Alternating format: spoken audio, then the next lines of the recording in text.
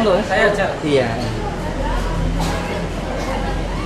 Meski perubahan cuaca terus terjadi hingga kini, namun lonjakan pasien penderita demam berdarah tidak ditemukan di Puskesmas Ambulu Jember.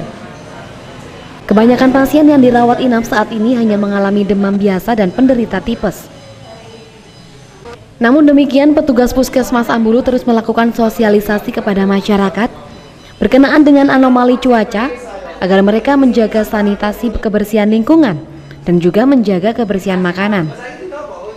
Menurut Muhammad Fauzi selaku bidang program kesehatan lingkungan Puskesmas Ambulu Jember, sosialisasi preventif kepada masyarakat terkait antisipasi penyerangan penderita demam berdarah memang terus dilakukan oleh petugas kesehatan dan para kader relawan masyarakat.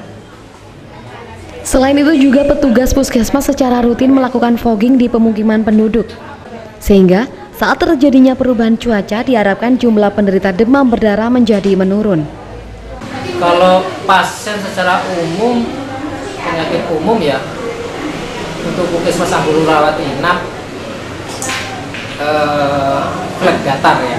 Jadi dari bed yang terpenuhi sekitar 70 persen eh, terpenuhi. Tapi untuk kasus demam berdarah untuk bulan-bulan Agustus September tidak mengalami outbreak dari Ambulu, Bambang Sugiarto, Jember 1 TV melaporkan.